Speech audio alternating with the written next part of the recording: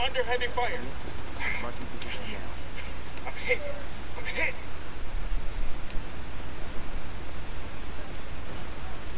Grenade, watch out.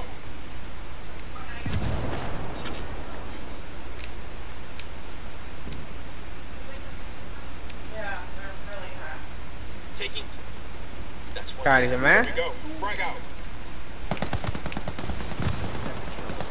There you go. Good shit.